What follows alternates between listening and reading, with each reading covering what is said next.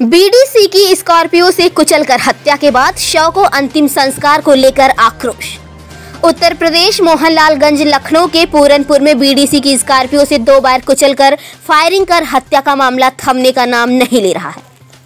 PM के बाद गाँव पहुँचे मृतक बीडीसी के शव का अंतिम संस्कार करने में परिजनों व ग्रामीणों ने किया मना। जिम्मेदार अधिकारियों के द्वारा दुर्घटना में मौत के बयान के बाद परिजनों व ग्रामीणों का बढ़ा आक्रोश। आनंद फानंद में शव का दाह संस्कार कराने के चक्कर में लगे पुलिस आला अफसर। सांसद को मौके पर बुलाए जाने पर अड़े परिजन व ग्रामीण भारी आक्रोश देखने को मिल रहा है। इंडिया समाचार के लिए उत्तर प्रदेश, लखनऊ से अश्वनी कुमार की ये रिपोर्ट।